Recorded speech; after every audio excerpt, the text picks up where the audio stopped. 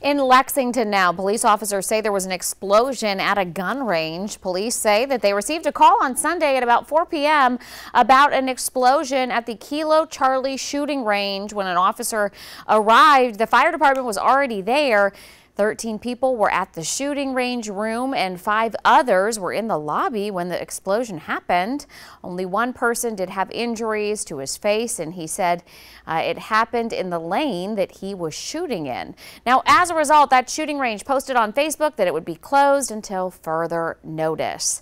It also says any customers with incoming firearm transfers or pending store orders, you're going to be notified when your items are ready to be picked up.